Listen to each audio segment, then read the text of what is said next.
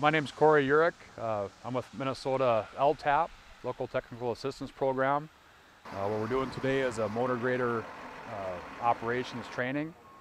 Uh, and typically what we do is we do a, a one day in, in, a classroom setting with different operators from counties or cities or different shops uh, and go over the finer points of uh, operating motor graders.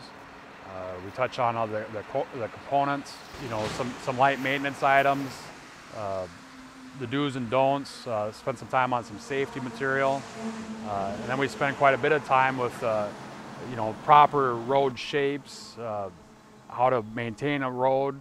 Uh, we spend a little time talking about uh, aggregates, what's good aggregates for gravel roads, what a good surface gravel is.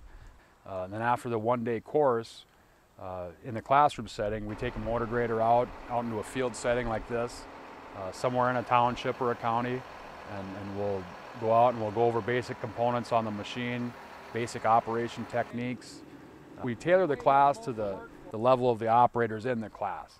If, uh, if there's seasoned guys that have been out doing routes for 20 or 30 years, uh, we'll focus on the finer points of, of, motor grader operation. But typically we'll do a, a, a, project like this. We'll start with just shaping uh, and, and, smoothing the, the surface. Uh, we'll try to find a, a, a, ditch that's out of whack or maybe some high shoulders and repair them.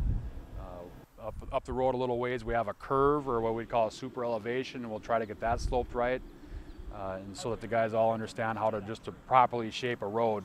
Uh, and if I always tell them if you, if you don't know what it should look like, how are you going to fix it?